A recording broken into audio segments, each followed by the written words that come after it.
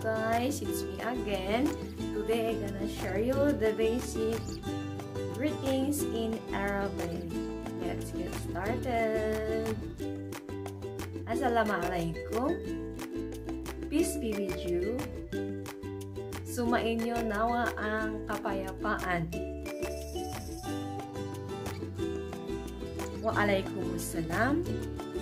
Peace be with you too. Sumainyo nawa din ang kapayapaan. Subahagir. Good morning. Magandang umaga. Subahal nur. Good morning to.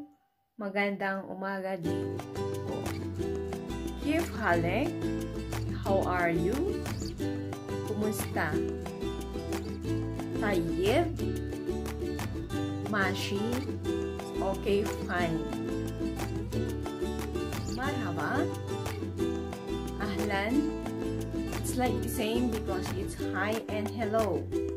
Like in conversation that your interval is the one who talk to you, hi, and rest back, ahlin. Shukran is thank you. Ahlan wa sahlan.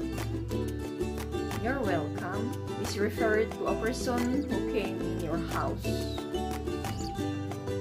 Or you're welcoming the person, newcomer in your house. That's all po. Hanggang sa muli po. Bye!